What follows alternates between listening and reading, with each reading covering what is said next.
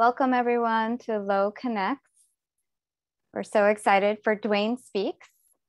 Um, I'm Jody Seifer. I'm the Curator of Education at the Lowe, and we're so glad that you've joined us tonight. We are, of course, recording this um, program, so you should be able to watch it very shortly after tomorrow, the next day on the Lowe's YouTube channel, so you can look out for that. I'm just going to give a quick intro and then we will get right to the main event. Um, so we would like to thank the organizations that have supported this program, um, especially the Arnold and Augusta Newman Foundation.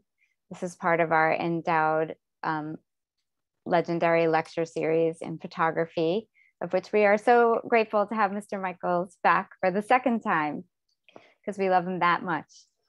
Um, we would also like to thank the Miami-Dade County Department of Cultural Affairs and the Cultural Affairs Council, the Miami-Dade Mayor and Board of Commissioner, the State of Florida Department of State, Division of Cultural Affairs, and the Florida Council on the Arts and Culture and the City of Coral Gables. Um, I would also like to thank, of course, Mr. Michals and Josiah Cuneo um, in Duane Michals Studio as well as the entire Lowe staff who all had a part in creating tonight's event. Um, if you need a closed captioning, you can turn on the live transcript if you click the little um, CC box on your Zoom menu bar. Uh, we hope that you will do that if you need to. Also, during the program at any time, please type in your questions for Q in the Q&A feature you can find that by clicking the Q box. It says Q&A. And then we'll have a presentation and then afterwards we'll take your questions. We'll try to get to as many of them as we can. At the end, please look out for a survey when you sign off. Um, it'll pop up. Um, we really appreciate if you take a few moments to answer your a survey about how tonight's program was for you. Um, it helps the Lowe with their grant support and um, we really do read them, so we appreciate that. Um, please save the date for our next Lowe Connects. Next month, it's October 28th at 5.30 p.m. We'll have Gari Melchers, American Master, presented by Joanna Catron. She's the curator of the Gari Melchers Home and Studio at the University of Mary Washington. This is in preview in um, it's a preview for our exhibition, which will be on view November 18th, An American Master at Home and Abroad, Gari Melchers, 1860 to 1932.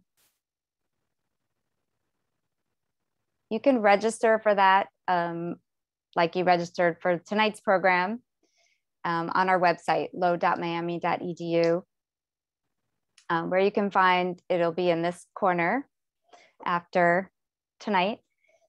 And you can also register for all of our other upcoming virtual programs as well.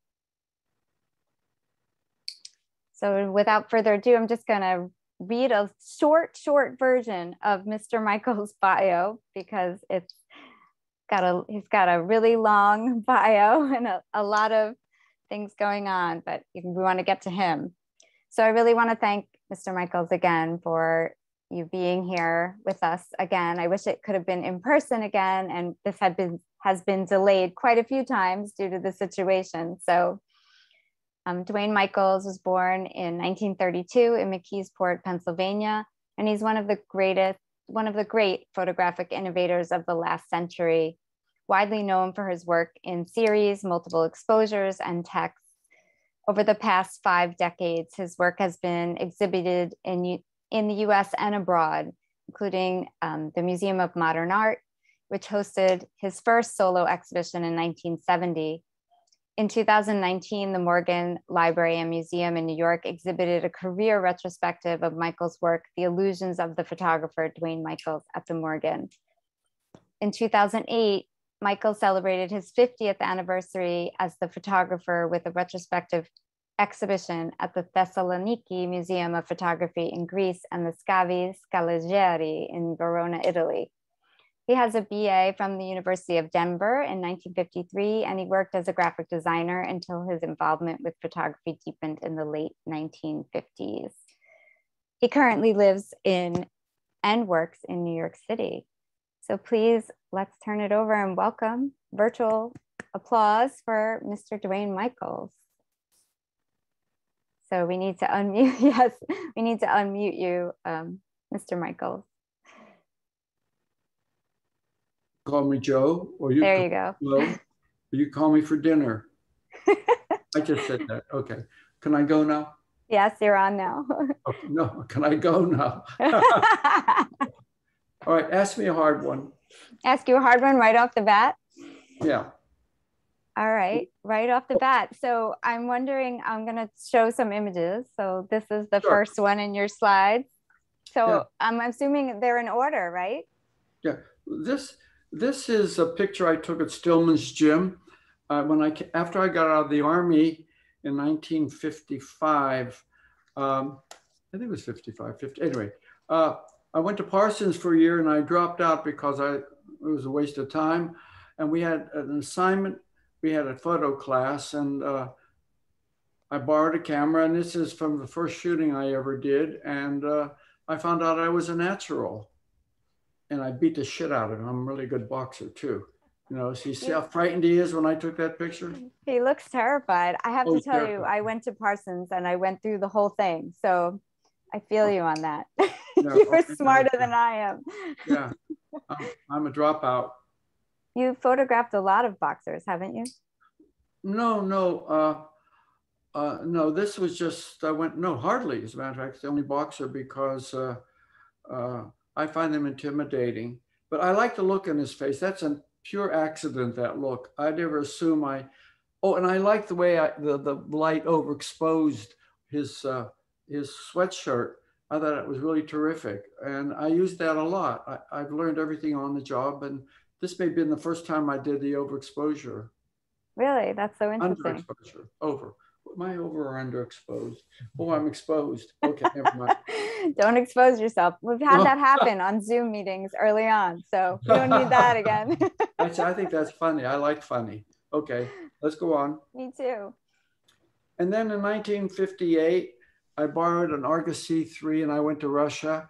I was working at Time Inc. doing promotion for Sports Illustrated and all those magazines, and I found out you could go. And it was a, the trip changed my life. I was 26, and I said I was going to go, and my friend said, you, "You're going, you're not going to go." I said, "Fuck you, I am going," and I went. And if I hadn't gone, I'd stop. I'll probably do, be doing still modeling for porn. Yeah, I was I've heard that. Yeah, I was very famous. Yeah. So I I find this really interesting. You know, we have the exhibition at the Lowe, Duane Michals, the portraitist, which I really love, and this is one of we. Have, I think there's two photos from Russia included in that exhibition, and this is one of them. So I'm wondering, you know, what it is. What is it about this one in particular? Out of, I imagine you took lots of photographs there on your trip. What well, is it? yeah. about this one that you love? This one is absolutely perfect. First of all, they're probably they're probably in their 80s or 90s now, and uh, they have no idea that this moment, this decisive moment, uh, still exists. And uh, I like to know this, their stories, but the composition, in my mind, is absolutely perfect. I like all this series of semicircles, her shoulders, the little white collars, uh, the glasses. It, it, it's a lovely, lovely picture yeah and then uh, there's a reflection in her glasses as yes, well with that makes it even more interesting and then you get the little white thing up in a corner yeah and this one is one that's in the uh, not in the exhibition but it's one that you've chosen from the trip as well. Yeah I, well i told a story I, every week i send out an email. What's our email called so people can see it? Uh, instagram. It's on instagram the duane michals. And uh, I do a little, I do a lot of moving. Every week I do something different. And I told, I did a thing on Russia recently about the trip. And uh, this is, it was a Monday morning. I was my first morning in, in uh, Leningrad wandering around. And then this little boy started to follow me. I was so paranoid, I figured he must have been an NKVD agent dressed up as a midget. And, uh, and then I would go block and he would he would go block. Then I stopped and and he came up to me and he put his hand out and he gave me a little red pin in the palm of my hand, a red star. And uh, as he walked away, he looked back, and that's when I took this picture. It was a very sweet moment. That sounds like a really sweet moment, and that you remember him so well. And I have this picture, and he's probably 89 by now. But look at the uh, the car and the lady. Everything is absolutely uh, right. So I have a, I'm a natural, you know, the way some people are naturals is uh, whatever, but I'm a natural photographer. Yeah, well, it reminds me of a Cartier-Bresson, and I know you've mentioned him before, but is he someone that you admire or not? Yes, yes, he's great. They're, Cartier-Bresson and Robert Frank are the two great, greatest reportage photographers. Uh, Garry Winogrand was a snap shooter. He, he was a creation of John Szarkowski's imagination, but you can't, nobody could beat these two. Yeah, I agree. But did you know about Bresson when you went to Russia? Oh, of course. I mean, yeah, okay. about Bresson, you know. Because uh, yeah. you studied painting, uh, you studied painting or you studied graphic design? I know you were no, a graphic designer. I know. I didn't really study. They didn't teach graphic design. They taught Paul Klee, and I already knew Paul Klee. No, but the thing is that I've I think if you have a, a kind of curiosity and energy in the arts, then you you you don't have to go to school. You know these things just out of your own curiosity. And I always tell students that if you leave this school asking fewer questions than when you arrived, well, then you didn't get an education. It's all about schools have to teach you something. They teach you rules, and then you have to unlearn all the rules. That's why I was lucky. I to learn all the photos, photo rules, but I know everything. I mean, I didn't know everything, but I was I was hip. I was cool. You know, I was I knew all these people just out of. You still are. You still are. Yeah, I'm very. I'm, I, what what why? What have you heard about my hips? Just, just tell her about my hips. Oh, but I do want to get to these. Um, yeah, well, I did. I did a project called Empty New York. I was inspired by Atget, and this particular, and I went around for, I don't know, at least a year photographing the city early in the morning. But this particular barbershop was particularly important because if you look in the back, you'll see there's a mirror and then there's a coat rack with these little white jackets. And I remember looking at that white jacket and I thought, well, the barber comes in, he puts on his white coat, and then he does his barber act all day long. He cuts hair and makes a lot, talks a lot. And and then I thought, well, this is his set. This is where he does his barber act, and this is his theater. And this was the first inkling of uh, my affection and my interest in theater and viewing everything as theater. But this led me to doing sequences. This was sequen- This was in my mind, you know, just from observing things. But it was a key to realize this was a stage set.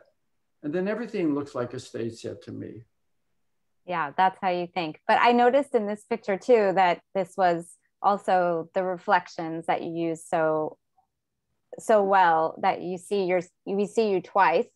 Yeah. and then we also see you in that framed portrait of jfk that's sitting on the shelf there which i love. Do you see it? Yeah i didn't re- i didn't realize i yeah. But you know i find that strange martian who was in the room at the time that's an see that with the big mouth and round head. That's a Martian, and I didn't realize it was a Martian until he breathed Martian farts on me. And Martian farts are unbelievably disgusting. That's a Martian, in case anybody wants to know. Are they green? His name was Ronnie. Ronnie the Martian. Ronnie? Yeah. That's my mother's name. Your, Mar- your mother's a Martian? she must be. oh, I hope she has. I came from her. We should introduce them. I think she's on actually. Um, so here's another one from stage set. This is just a, you know a cheap, cheap, uh, uh, you know where you go get cheap hamburgers and you know pick up cheap people. so is this uh, place still in existence? I have no idea. They no wouldn't let me back in because I exposed myself in that restaurant. I'm not talking about film now. See, I think that's funny. Keep up, keep up, come on. I'm trying, I'm trying. It's hard to keep up with you. All right. So this is chance meeting. Yes. Was this one of the first sort of yeah, or is this just one of your ones. favorites? This was in my first book. And you see, I think photography should not be about other people's realities. don't tell me what I already know. And I can only offer you my own mind, my own goofiness, my own whatever. And, and people are always photographing other people, something that they, they, they don't know anything about. And this is, I thought this was very interesting. It has a number of interpretations. It's also a gay cruise. Two men walk down the street past each other. and One checks one out. And then after the other one leaves, they, but it's all about ships in the night. It's all about those slight encounters. But I made this into theater. I made this into drama. This is a drama. Our lives are dramas. We don't see them that way, but they are. And that's yeah. Ted Bigelow looking back, a great old friend of mine. He was in a lot of early work. And that other guy was, I think his name was Barry, Barry Kaplan. And he was an early, really good photographer. And he had a huge spread in Life magazine. And his he never went anywhere. And it's because if Liberman didn't discover you, then you didn't exist. But Barry was a great photographer. So I was going to ask you that. You sort of answered one of my questions. Do you usually use people that you know or like in yeah. your in your sequences, in your films or photographs? Yeah, I, I'm looking for a model now, and I feel very embarrassed to go up to some a stranger and say, you know, yoo-hoo, yoo-hoo. really? Hey, have your picture taken. You know, that's that's surprising. I never did develop the ability to uh, pick up people on the street in a nice way. anyway, you can quote me on that. On that, say he looks back. I love this moment. This is the denouement. This is the my Shakespearean ships in the night. And interestingly enough, these pictures have a large resonance. You know, this this piece of work is uh, in Europe. You know, the, it's very. I mean, people all over the world respond to this. This has been seen in Japan, and people understand this moment. Yes, absolutely. And do, so you you use people that you know in the photographs, but are you walking around location scouting, or you find the location first? Like in this instance, did you no, no, you had it I, in your mind? When I have a need for a location, then I find one. I'm going back McKeesport next week. Next weekend, I'm making a little movie there and I've already have in my mind, and I'm like, I'm going to photograph in the library and on the bridge. So the, the, the location is very, very important. The, the mise en scène, very important. Yes, your theater set, your set, so to speak. Yeah. So I know you love this one as well. Oh, I love it. Yeah, who wouldn't? Uh, I was, I got, it's a long story, but I ended up getting a great assignment from Denoël, the French publisher, well, I'll tell you how it happened. I was in Paris and on, I went to Cafe Flore and on to have morning coffee on Sunday. And there was Jeanloup Sieff, a great French photographer. And he said, what a coincidence, because I was trying to find you. I'm editing a series of books for Denoël, and we're asking six photographers, where would you like to go that you've never been? And he said, then you go there, you do a book, then you write 60 pages of text and we'll publish anything you do. And he said, Where do you want to go? And I immediately said, Egypt. And when I got to Egypt, I had a wonderful adventure. And when I was a little boy, I built my own, I used to build model cities, and I always, I still do in a funny way. And uh, so when I go to the checkout counter at A&P, I line up all my boxes like skyscrapers. And so it was very natural for me to build my own pyramid. I love the audacity of it. Uh, that takes a lot of chutzpah. Today's Yom Kippur, incidentally. So I did. Uh, I just think it gives me a tickle, you know. Yeah, it's great. What a great question and assignment. I have to ask you the same question now. If someone said that to you, where would you like to go that you've never been? Is there some place you've still never been that you'd want to go? Well, there are a couple bedrooms I'd like to go to, but I haven't been invited. But no, I don't want to go anywhere. I've I've done enough traveling. I'm over. You have. You've yeah. been everywhere. Yeah, I, I've, I've done everything. I, you know, Russia. I'm uh, everywhere. Not everywhere, but mostly everywhere. Almost everywhere. Kind of everywhere. Sort of everywhere. And if you notice at the very end, that the last picture, my my pyramid's bigger than theirs, and uh, anyway, and I'm I'm going to shut up before I get arrested for indecent implosion, a decent something, decent. It's a very good pyramid. Okay. Oh, you see, it makes an X too. Do you notice the X that makes the two pyramids? The three of them, actually, the two, theirs and mine. I see it now. Yes. That's great. You always have a great sense of design. You started out as a designer. Well, yeah, but you know, I already, yeah, yeah, I did. I I was a good graphic designer. I wasn't a great one. Uh, uh, Maybe that's because you left Parsons. just in the nick of time. Oh, this is a wonderful assignment. Another one. I had a call from French Vogue years ago, and they used to do every December issue. They would have Hockney, a whole issue on drawing, and and Scorsese on film, and they were doing an issue on uh, quantum.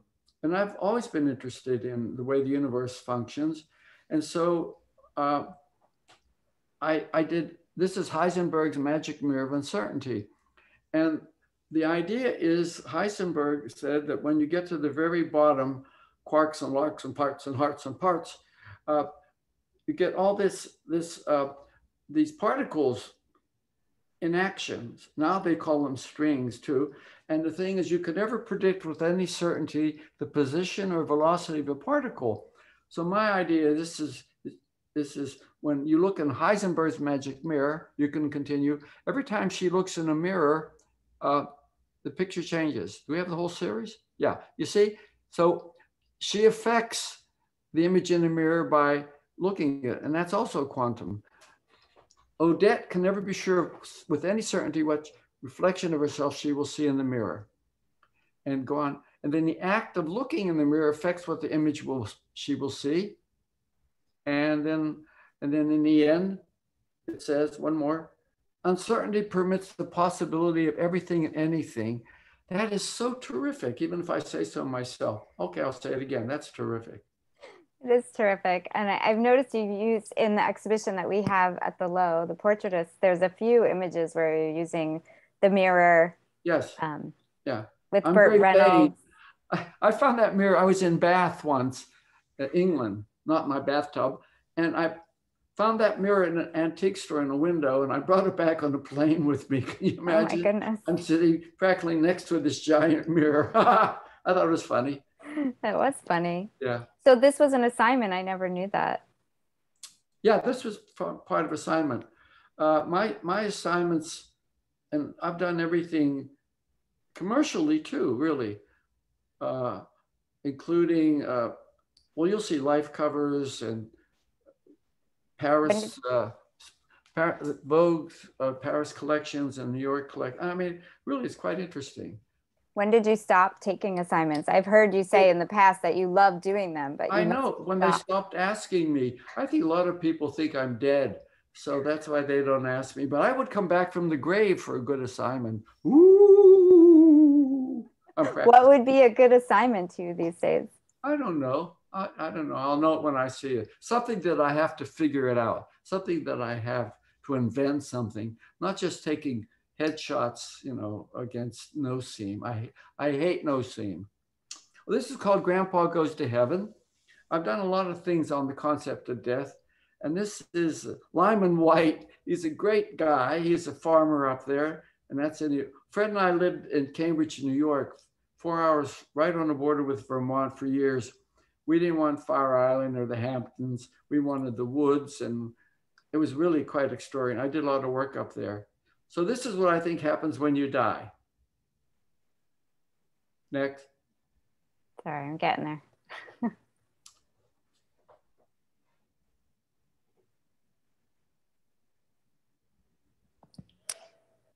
I, I love that one. I do too. This is very one of my more popular items about death. In the first book I did, sequences, I did Death Comes the Old Lady, uh, Spirit Leaves the Body, and then I turned the man into a into a, the star in, in, in Cosmos. So my questions, my photographs are about questions. They're not descriptions of something. This didn't really happen. This is pure fiction. It's it's like poetry, writing, anything that I have to figure out how to illustrate my imagination, how to make my mind appear in front of me. And that's a great power. if you could think of something and then look, there it is. Anyway, next. So what? So when did you always think about death? Because your assignments are.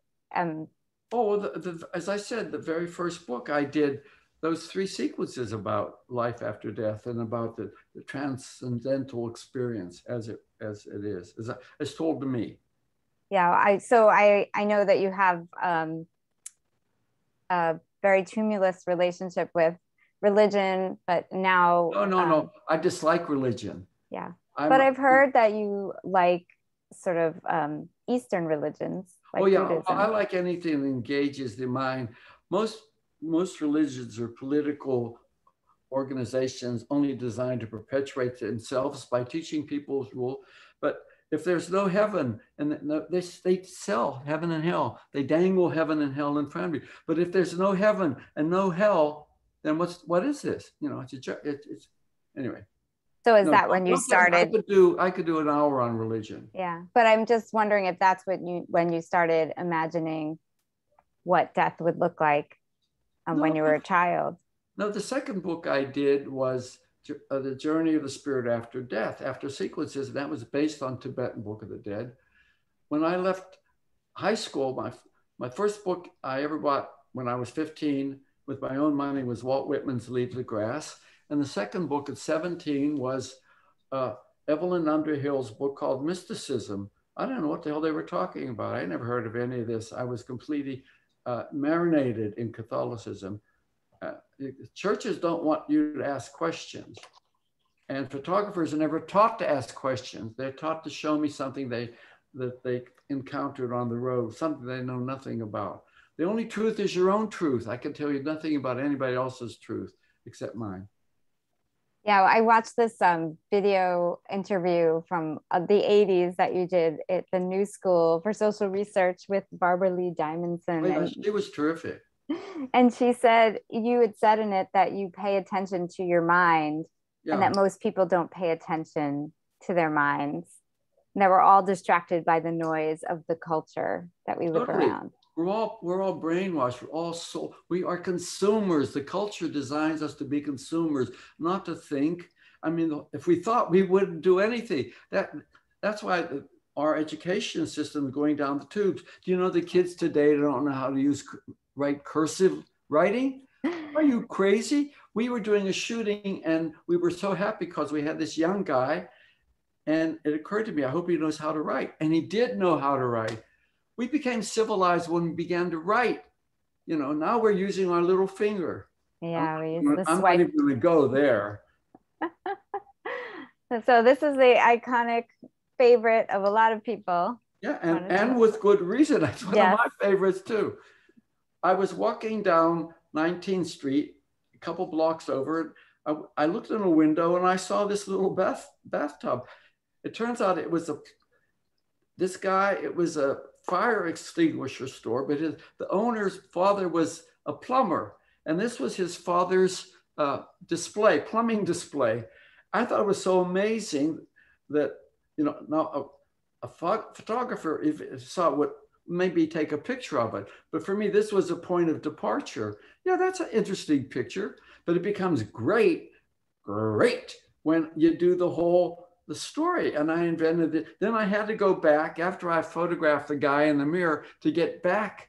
And I was afraid he wouldn't let me in. I was willing even to pay him, you know, 10 bucks, who knows? That was a lot of money then. No, this I didn't is, realize. I thought that you created this um, set. No, I didn't know I you found, found it. it. I found it. Reportage paid off. Yeah. And this always people, all, everywhere people respond to this because it's it's a riddle. It's a visual riddle, and it it uh, you know it doesn't it doesn't spill the beans, and it can go backwards or forwards. You know, it, you could start in the middle of it and do the you know, yeah. Yeah, I'll play it for everyone now. Yeah, it's a riddle. And that's Sean Kiernan. He's a friend of mine. Was a photographer, and uh, that's his big foot. And whose thumb is that? Oh, that's a friend of mine named Bill Burdick. He was another friend of mine. It was very important to me. Dan Enton, that was his friend. And then I had to go take that picture and then frame it and then go back. You see how dirty the sink was? the guy wouldn't let me, he wouldn't let me touch it. So I couldn't clean it or blow the, you know, blow the man down. Were you going to? I think the dirt on the sink adds so much to it. Well, no, well, now it does, yeah, but in those days, it was just dirt. That's great. Okay. Oh, I have to tell you, I'm my biggest fan. You should be. Yeah, people photograph nudes all the time. But what I did was, you know, I call this the most beautiful part of a man's body. I think it must be there where the torso sits on and into the hips, those twin de- delineating curves, feminine and grace, girdling the trunk, guiding the eye downwards to their intersection, the point of pleasure. Then I did the most beautiful part of a woman's body. Next. In the oldest dreams of old men, women's breasts still remain long after their desires have turned to dust. They are their first memories, a warm, nurturing home, the point of satisfaction, perfect in their gracious arcs. Women wear their breasts as medals. So I annotated. Now, language is always gone with uh, photographs. You pick up a, the front page of the New York Times and it says Donald Trump falls down a flight of steps and breaks his hair. You know, and then there's a, you see him. So captions tell you what you're looking at. I tell you what you cannot see. I, I, I elaborate the, the communication. I enhance it. I enrich it. I, I you, bec- you become the artist. It's one thing to photograph something, but when you uh, uh, annotate it, when you uh, express, you give it a voice, you give the photograph a voice, you give the experience of sharing something with somebody else a voice by adding this. And of course, then you could, I could fail not only as a bad photographer, but I could also fail as a bad writer. All Well, I consider you like a poet. Um, I know you've had books published of your writings, but I, do you think of yourself as a poet? I mean, they're poems to me on on the photograph. Well, they are. They are. And no, yeah, I, I call myself an expressionist. It's not about photography or writing or, or the idea. It's how well do you express yourself. And this one's again about death. All things mellow in the mind, a sleight of hand, a trick of time, and even our great love will fade. Soon we'll be strangers in the grave. That's why this moment is so dear. I kiss your lips and we are here. So let's hold tight and touch and feel. For this quick instant, we are real. It's true. It is true. It's beautiful. And I love how you, you know, cross things out. So are you are you thinking out what you're going to say before you write on it or you're thinking Oh, it out no, I- as no, I always think it out. I don't, I, you know, but I make mistakes. And uh, see what I wrote? I wrote all things mellow, L E L L O W I N. I think it was just too close, I right? ran, I, yeah, but I ran them together like one word. Right. Mellow in became mellow in. And that's why I, I love mistakes. I don't want perfection. Stay away from perfection. Uh, am I not flawed, Josiah? He'll tell you I'm very flawed. And you don't want to be perfect because you could get trapped in perfection, you know, and you learn from your mistakes if you're smart. And this, the New York Times asked five photographers to do self portraits for the magazine. And I did the back of my head, you don't see my face. And I wrote, I think about thinking because what's interesting about me is not my nose or, you know, or, or my double chin. What's interesting is my imagination. Very My true. Imagination. And that, so that's my self portrait. In the portrait, you don't have to see the, the, the person's face. And that's what you call the prose portrait, right? Yes, that's the prose portrait. That's right. I, I, I don't want to run out of time because I have a lot of work to show. And Yeah. I want to make sure you see how's our time. We're doing good. We have a whole ha- 26 minutes. So I think I'm already on, um, Well, don't forget to say movie time. I'm, I'm saving time. Don't worry. Okay. And I've written a lot about uh, my father. And this says, My father could walk in the sky. He promised to show me how, or should say, he promised to teach me how. but he left without saying goodbye. I don't cry. I'm a grown up now.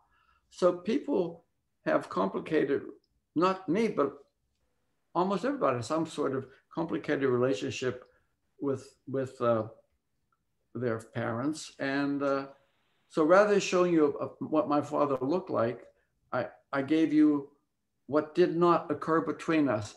And this is a great model, my great model of mine named Billy. And his mother saw the picture. She said, "That's Billy because he has flat feet," and she recognizes from the feet. That, of course, is a double exposure. He was not in the sky, contrary to popular belief. And you do all these double exposures. I have to ask because we've had a lot of um, University of Miami students coming in to see the exhibition in the museum, and they all want to know the double exposures are done in camera, correct? They're all done in they're, they're in the negative, and I saw my first double exposure when I went to Russia. I I did did a picture accidentally, and uh, I thought that looked terrific. So everybody would consider it a mistake. I didn't. The question is, where does it take you? Well, this is about being gay. It's called The Unfortunate Man. The unfortunate man could not touch the one he loved. It had been declared illegal by the law, the church, the law. Slowly, his fingers became toes and his hands gradually became feet, and he began to wear shoes on his hands to disguise his pain. It never occurred to him to break the law. And it's really, really annoys me. I'm going to give you my gay lecture whether you like it or not. Here's here it is. Gayness, homosexuality as told to Duane and by Duane. Everything in nature is abundant, done in abundance and variation. Nature makes 50,000 kinds of beetles, 40,000 kinds of butterflies. And in the human spectrum, nature makes some people are white, some people are brown, some people have gray hair, some people have yellow hair. And this in the sec, it's all a spectrum. And in the sexual spectrum, some people are 100% straight, some people are 50% gay. It's a, it's it's a, a variation in the spectrum. I am 100% gay, but some people get married. You know, it's a variation, and you don't burn people at the stake because they have red hair. Maybe you do. Actually, the church used to burn you if you, and not just burn your ass, they would really burn you all over. But for, you know, so for God's sakes, gay is just like straight, except it's different. And the difference is that it's the same love, the same affection, the same wanting to, wanting to hug, wanting to touch. And it's, and it's as natural as straight. Yes, and thank you for uh, talking about this from very early on in your career. You've been this has been a subject of your work for a long time, and you know everyone's talking about it now, but you were doing it before everyone else was. When, so when they when they could really hurt you, you know, I'm not a fan of Mapplethorpe. I'm not a fan of all these professional things. That's you know, I just I want to know what something feels like. You know, I know what a dick looks like. I know what tits look like. Yeah, boo, boo hoo, get over it. Anyway, this is called, this was in my first book, Death Comes the Old Lady, and that's my grandmother. Oh, and, I didn't know that. Yeah. And she had Alzheimer's. Okay, neck. And that's my dad dressed up as Mr. Death. And okay, and he comes, but you know, now if I would have, if I would reshoot this, I would come in on the hand touching her on the shoulder my he should have been blurred. I got that, and I wanted. That's the moment that she died. Oh, I when we get through with this, I have I have something interesting on the same subject to show you.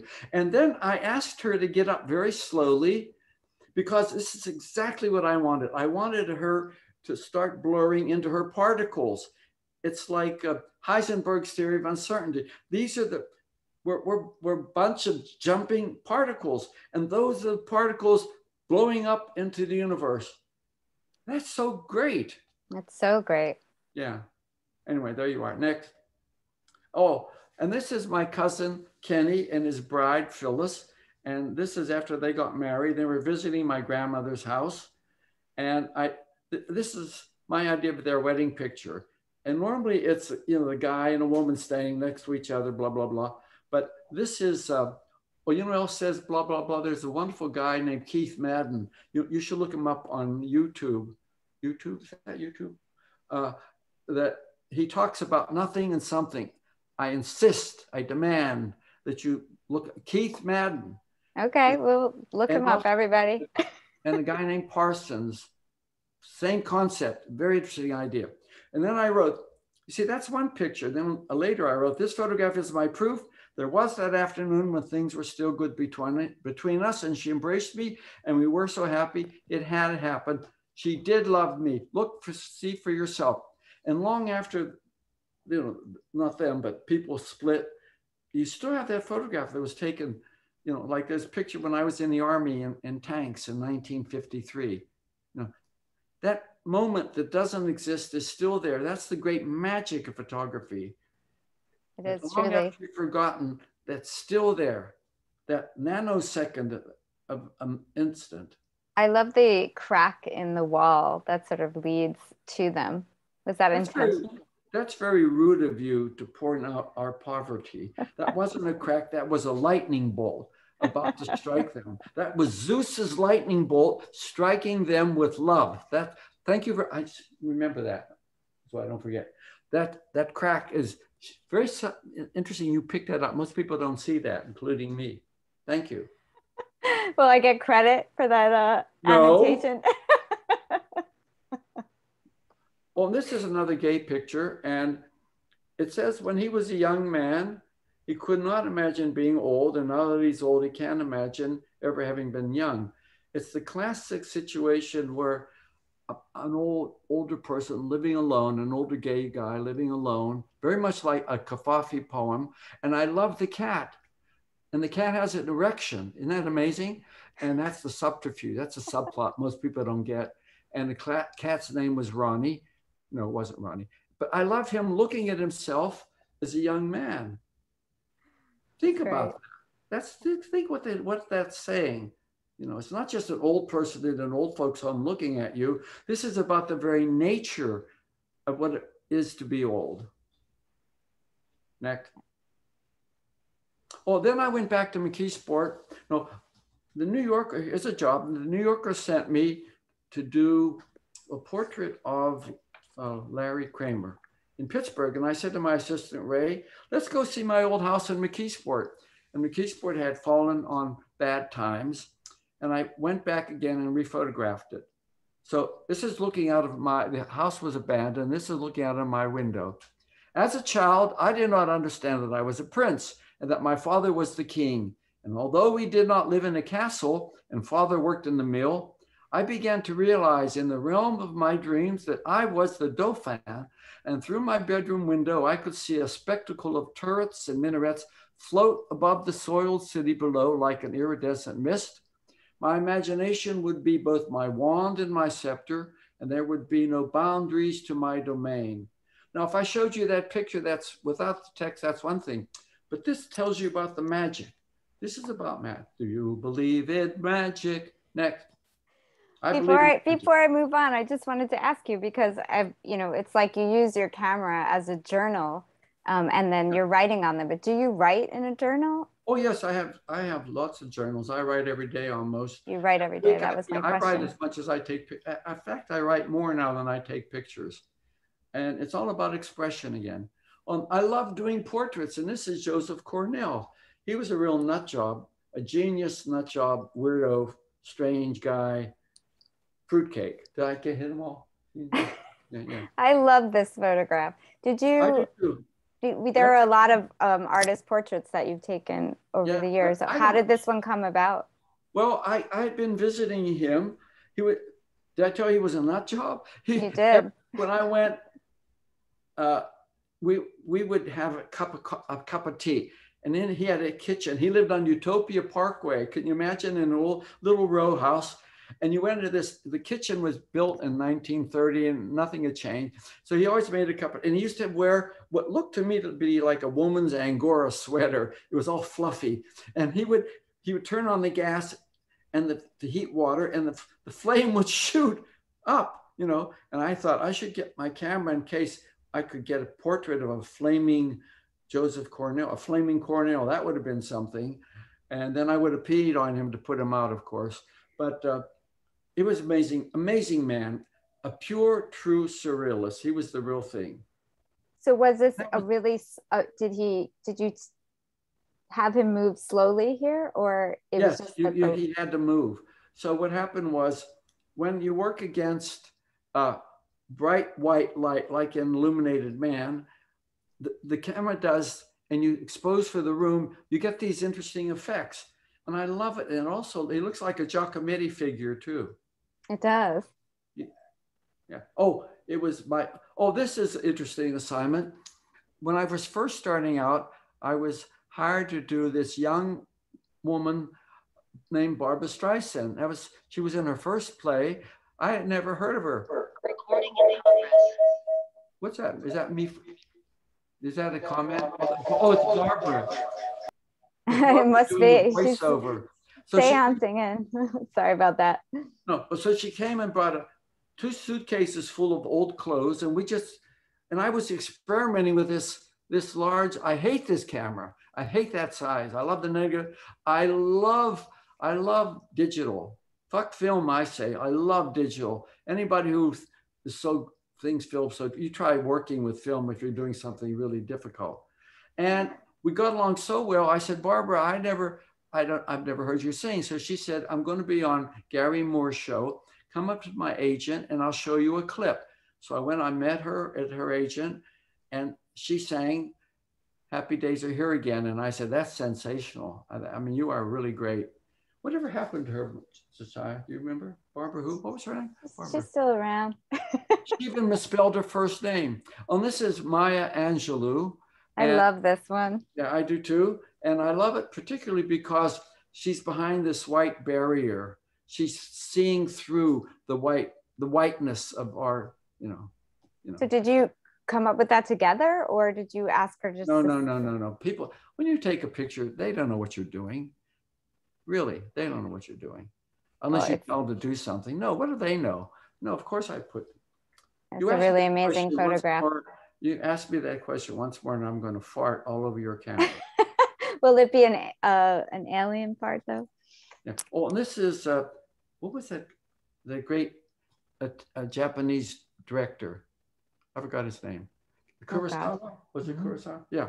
And I used to have like a half an hour to photograph somebody, so I had to be quick on. And we were we went into Central Park, and I love that tent. I love that grimace, and I like the pattern. I'm very fond of Hokusai and Hiroshige.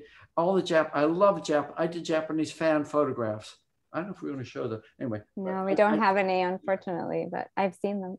yeah, but did I capture anything? No please, you captured nonsense. How could you capture any? I don't even know. This is a 1932 model. This is a red body.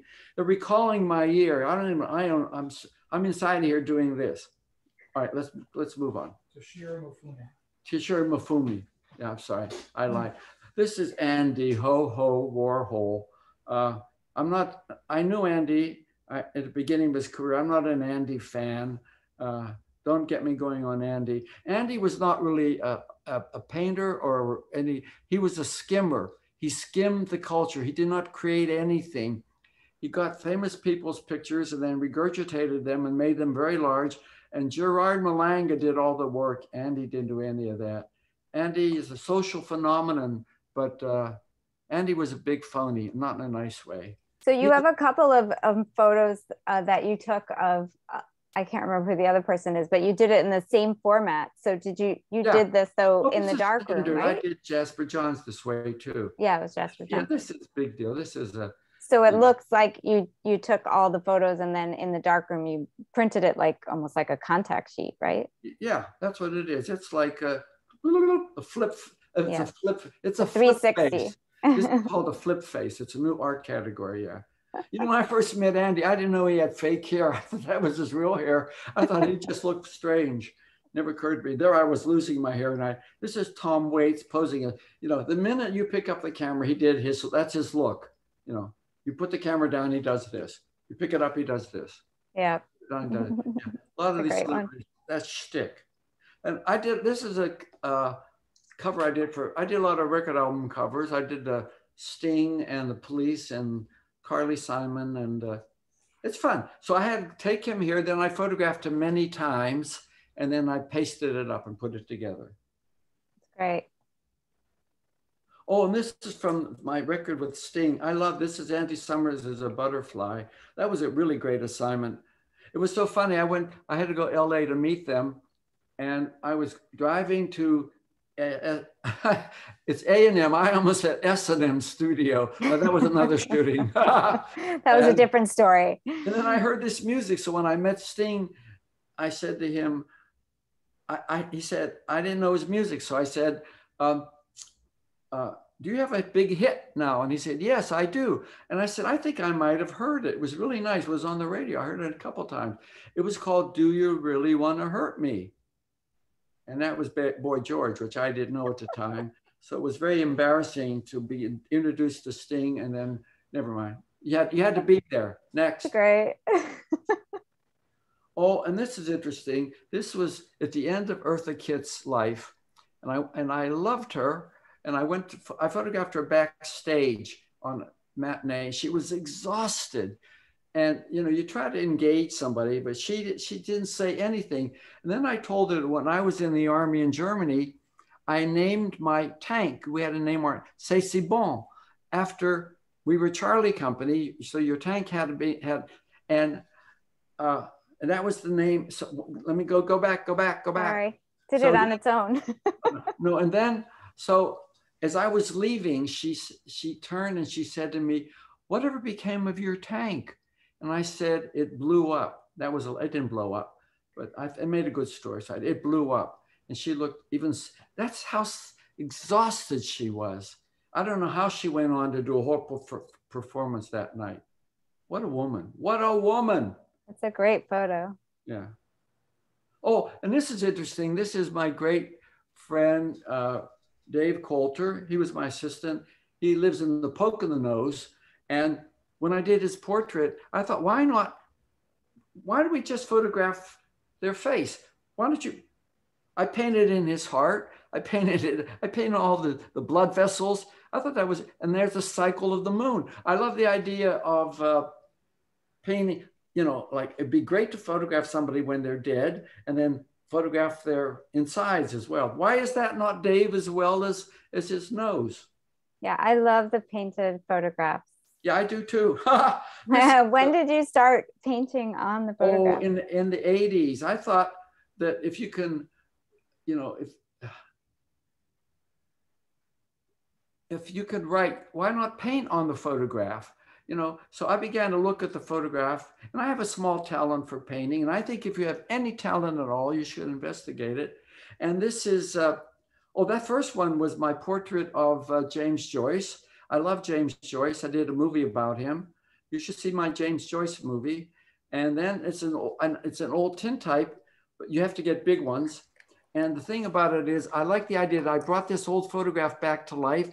It, it's in photographic history doing tintypes, and that's he looks like a mechanical man. That was the Ulysses movie, right? Yes, I saw it. It was great. yeah, this is my and this is my portrait of Fred, and I love I love all the colors and I like the energy and I like the I like the curiosity and you know you have to look at this and look at it for a while. You know, it's not you look at it, oh yeah, that's Fred's face, okay? You know, this is more about energy. All of its personalities and moods, yes. right? Multi-level layered, yeah. Next. Oh, this is some of my commercial work. This is a life cover I did. I did three life covers and uh, I wrote the title and I did a what's that called solarization. Um, I've done everything in photography. I haven't done porn, not that I haven't wanted to, but I've never been asked. And people, they all leave. The, oh, this is a recent portrait I did of the late Chuck Close. No, may rest in Chuck peace. Close and Chuck Farr. Everybody cracks up when I'm sitting in the in my office um, at my desk in the museum and I hear people going through and I hear them laugh. I know where they are. They're looking at this one. yeah, yeah. Uh, oh, this is Tilda Swinton, my, one my great heroes. She is sensational. And I love this because she's a wonderful actress. And I love this because it's such a surreal portrait. I don't like the word surreal, but you know, to photograph the back of her head and then to see her in the mirror, you know, That's even better. It's a double bonus. And I like I, that's my favorite surreal suit. I have to rent it. They will never sell it to me. And I love that suit. And if you wear big floppy shoes, it makes you look like a clown. Okay, this is a Josiah. I have to give Josiah credit. None of these movies are possible without him. He edits and does all the computer stuff. We've done about 30, over 30 films and little films. I have no ambition to Hollywood, but although if somebody would offer me a million bucks to make a movie, I'd do it. And uh, so this is a, one of my favorites. It's surreal nonsense. York. All right, so I'm gonna stop share this and then share the actual film for a moment. Just give me one second. And everyone, if you continue to type in some questions that you have for Mr. Michals, I see a few there. This film is about seven minutes, a little less, right? And somehow I've lost it on my screen, but we will, here it is. We will take your questions after, so you can hang with us. We appreciate that. Okay. I'm getting it now. Here I go.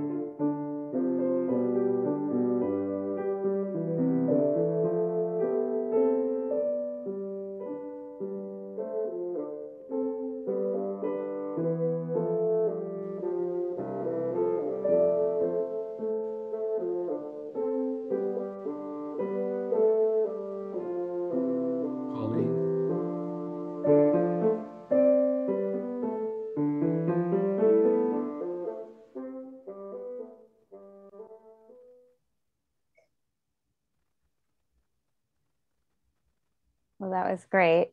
Thank you. I guess we don't have time for the other one. Um, no, probably not.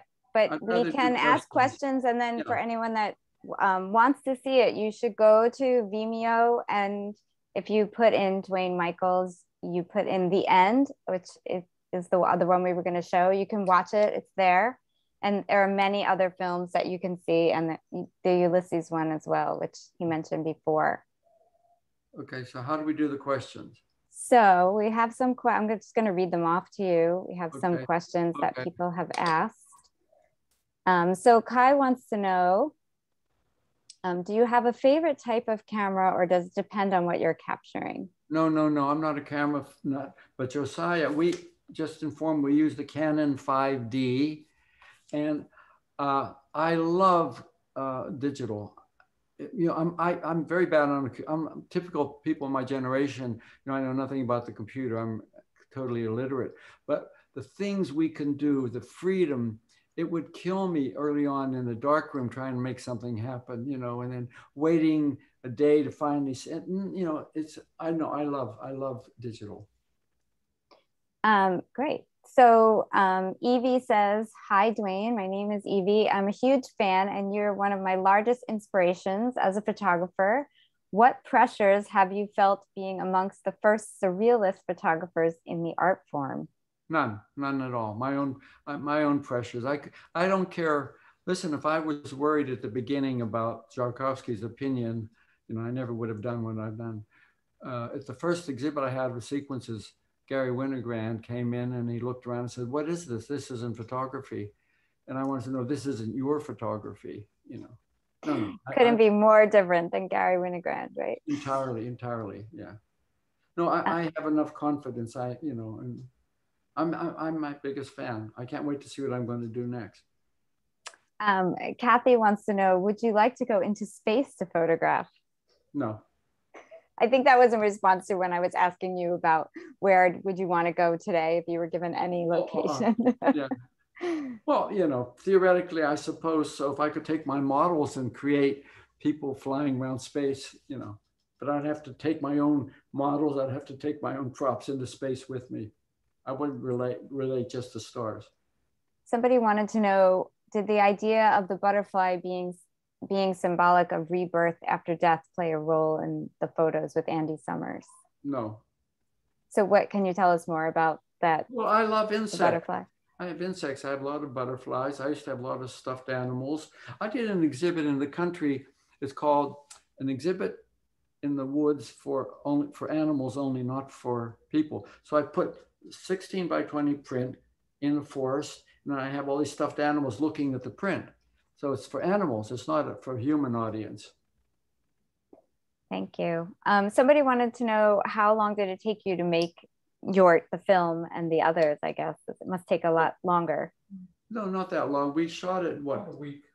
Well, well, but we shot it in a day or two days. That one was about a week. Yeah, that was a few days. Oh, we went that one. That was yeah. complicated. We had to go back to do some. We yeah. shot that in Central Park. You know. Oh, but I imagine the editing takes a lot longer, right, Josiah? Yeah, putting it together was.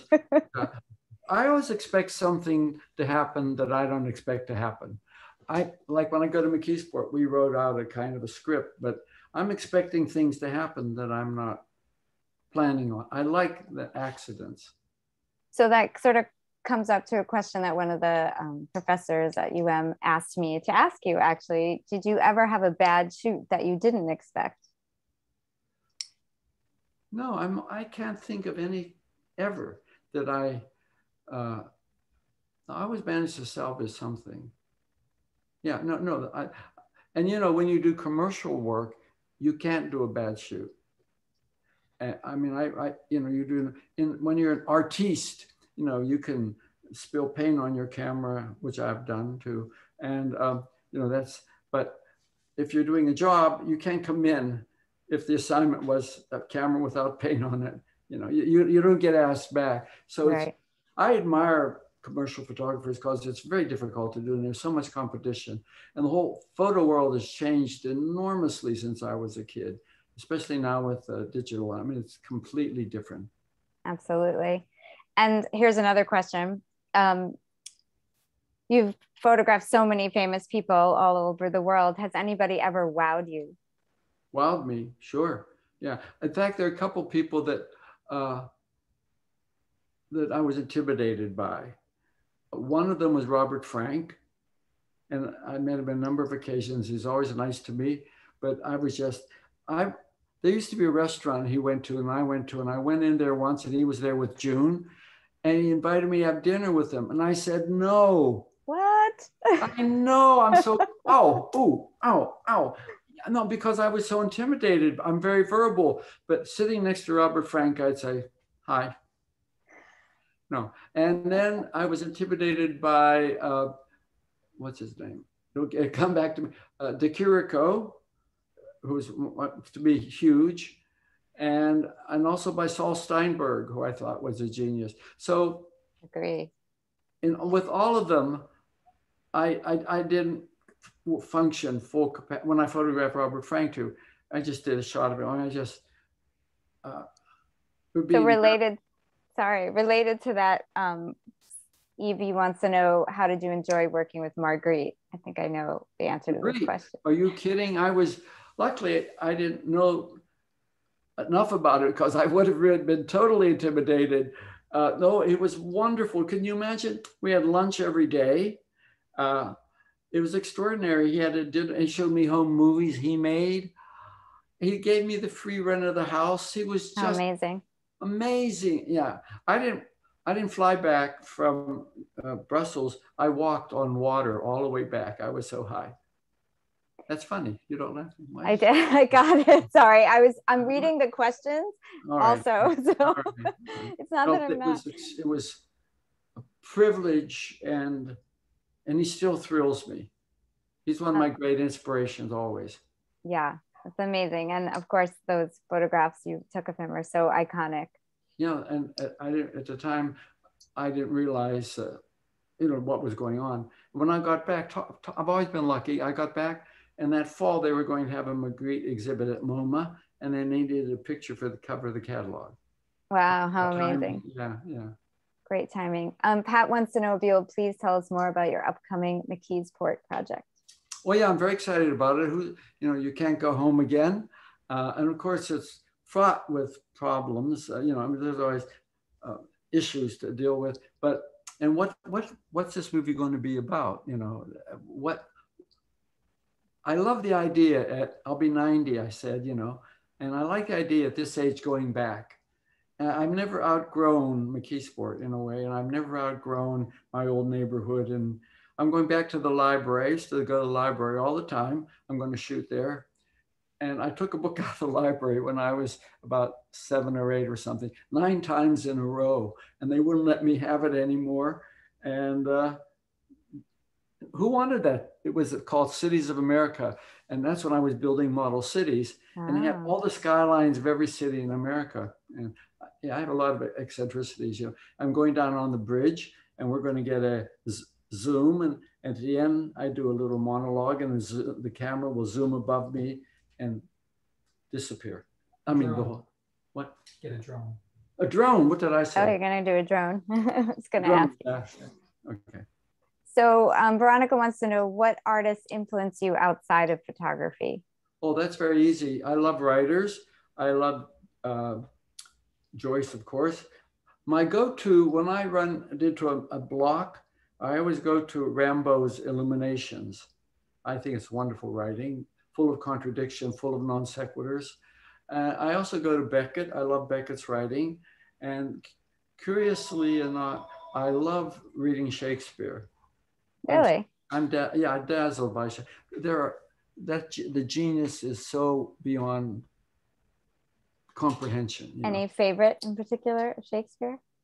Well, let me think. There are so many of them. It's hard to say, but there are so many random quotes. But you know, you know, from measure for measure to measure to measure. I, I should put that to words. And you know, I mean, any of them, uh, it just breaks your heart how beautiful he is. You know, did you know that Hamlet, the, the original title for Hamlet was it was supposed to be a cookbook, and the original title for the play was Omelette. No. I made that up. Um, speaking of sort of theater and plays and writers, is there, I'm wondering personally if you um, have a recent or the most recent one that you were able to go see, uh, what's your favorite play or Oh, well, movie? I, love reading biographies, and I just got finished reading Tom Stoppard's biography, and Guildenstern and Rosencrantz. I mean, Tom Stoppard is right up there. He is an amazing genius. He's just, you know, when when Diaghilev, when Cocteau was a young man, and Diaghilev was the reigning impresario at the Ballet Russe in Paris in 1910 or whenever, Cocteau was going to collaborate with Diaghilev, and and Cocteau, Diaghilev said, Cocteau said too many names. Cocteau, what do you expect? You know, what do you want? And Diaghilev said, astound me. And I want to be astounded. I don't want to be bored. Andy Warhol is fucking boring. Andy Warhol tells me whatever. Oh, no kidding. That's Marilyn Monroe. Where have I seen that before? You, uh, astounding is where you go. You don't go for boredom. I'm not hip. I'm not cool. Uh, I'm not cruel. Uh, none of those things. I, am I'm in so my I, days. Yeah. So in relation to that, I'm wondering. We asked a lot of the artists that we've spoken to over the past, you know, year and a half for this pandemic virtually. You know, how was that for you? What did you do to keep? Oh, I didn't have any problem with it because every week I turned out a new thing. Josiah always said to me, "We should go on the internet," and I said, "Why? Why bother?" He said, "Because you know you could get your work out there." And for uh, how many do you think we've done, Josiah? It's over, over a year. Over a hundred, yeah. Wow. Every so week, it's been a really good time for you then. Every week, and they're all different, and they're dazzling. I dazzle me. you dazzle us as well. So we went a little over time, which we really appreciate you doing, staying on with us for the extra time. Are you kidding? I love this. I really do. Well, we really appreciate it. It's been wonderful to talk to you and hear some of the behind the scenes of the photographs and the films. Mm-hmm. And everyone should really follow. I do follow you on Instagram at the Duane Michals. There's another Duane Michals, but the official one is the Duane Michals. So you should follow. And look at Vimeo too. Yes, and go to Vimeo and watch all the movies, all the films. They're really wonderful. Now go do it. Astound me. But better than that, astound yourself. If you're bored, that's your problem, not mine. Thank you so very much again. Bye. Have a great evening. I just did.